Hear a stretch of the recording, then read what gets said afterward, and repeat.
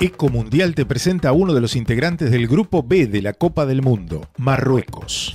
Este representante del continente africano no tiene grandes antecedentes en la competición, solamente un pase a octavos de final en México 86. El técnico es un exfutbolista francés llamado Hervé Renard. Justamente junto con Argelia y Túnez forman parte de la escuela francesa en África. La figura del equipo es Hakim Ziyech. Juega como extremo derecho en el Ajax de Holanda, aunque es muy pretendido por varios clubes europeos. Lo acompaña en el ataque Halid Boutaib, un potente y alto centrodelantero que pasó del Estrasburgo de Francia al Yeni Malatyaspor de Turquía.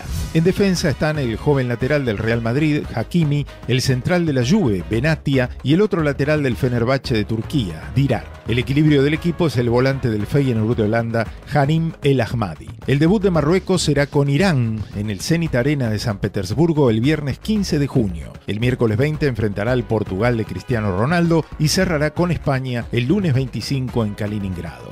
Ecomundial te presentó a uno de los equipos del Grupo B de la Copa del Mundo, Marruecos.